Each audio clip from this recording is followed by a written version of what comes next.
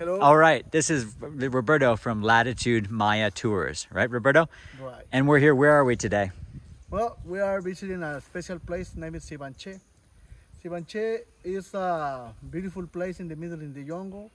Was basically discovered by Thomas Gann in 1927. Was uh, rediscovered by archaeologists until 1994 in the project Sol of Quintana Roo. The special of this place is, without hesitation, this, these structures. Yeah. This is a number. Let's take a look. We'll walk a little closer.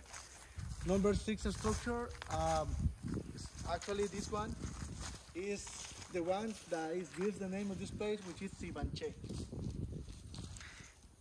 Yeah, I'm going to zoom in a little bit closer here. One of the things that we just arrived here, but one of the things that I love about it is, first of all, we're here on an excursion. We we came in on a cruise ship on the Costa Maya port, and it is about a two-hour drive. But you get here, and the wonderful thing is, by coming a little further, is you escape the crowds, right, Roberto? That's right. So we are the only tourists here right now, and it's a beautiful day. Pretty much almost the almost the only tourists here, and to see all the trees here. There's a beautiful. Uh, you are basically in the middle of the jungle, aren't you? That's right. That's right. Basically, this place was covered up by the jungle once was abandoned. And archaeologists have made a good job by cutting down the trees around. But you can see this is still the jungle. And you are allowed to climb the steps, correct? allowed. Let's go. Perfect.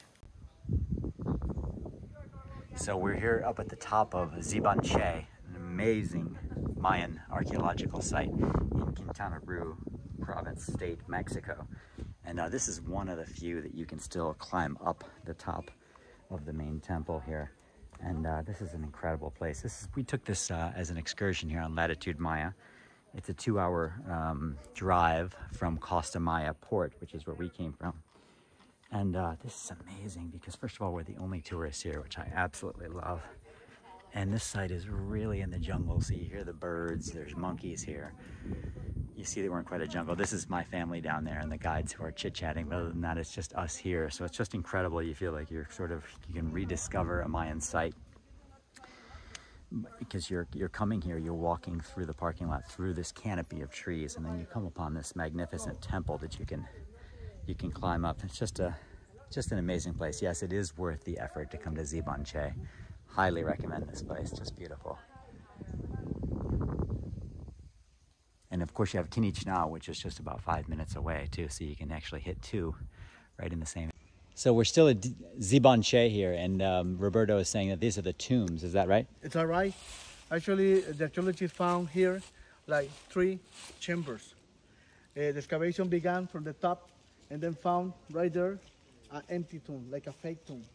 They keep going down, they found a second one, and at the bottom they found a very special chamber, a very special, very special tomb. Mayans, they believe that the special people deserve the special chambers. So the guy who was buried right there, for sure, was very special. And does this also date before Christ? This is I think. 580. 580. 580. And the temple number six was 200 to 300 They- BC. They, began to, to build the temple 200, 300 BC. And the last stage of construction was like Hmm. 600 to 780. It's the same like this one. They began to build this one in a time before Christ. And then and they finished, they stopped building this one like 780. 780. And when was the site abandoned? The city was abandoned nearly 1000 AD. 1080. Mm-hmm. Similar to other Mayan sites. Many of them were abandoned the same time, but there is places like were abandoned like a century, two hundred centuries after, After, this one right. here.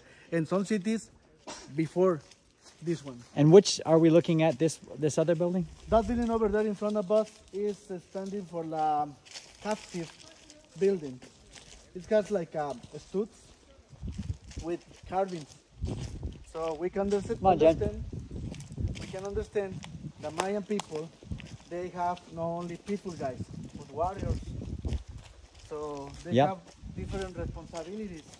One of them is to capture people from other places in order to Take them prisoner. necessities of the gods.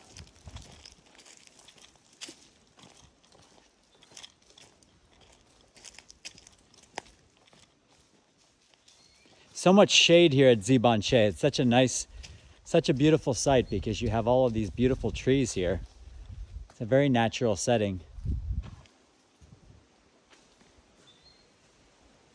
So we're back at Dzibanché still, and tell us what this uh, this is. Burial tomb in here, This what they found. was a chamber, a tomb. This is what they found in the excavations.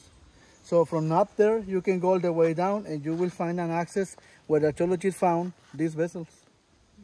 And this conch mask here, right here. So tombs were made only for special guys, right? So the girl buried here was in 300 years AD, Like a queen. a queen. Queen buried here in 300 AD. AD. Mm-hmm. Is that how old this structure is? Yeah, the beginning. Then beginning of it. They keep building on top of it new stages of construction until they end with what we can see well what the vegetation left to us was a, a special build with decoration all over, probably mask side to side, and the rooftop at the, the rooftop at the very top, and then the, the temple, the entrance to the to the temple, and obviously the entrance to the chamber, to the tomb. This is going to be the last part to this video, guys. I would just want to recommend to you highly Latitud Maya to come and take this tour with them because this is an amazing place. And as you can see, we have it pretty much all to ourselves. It's an amazing uh, tour.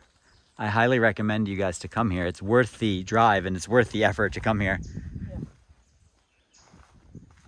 Very peaceful and quiet.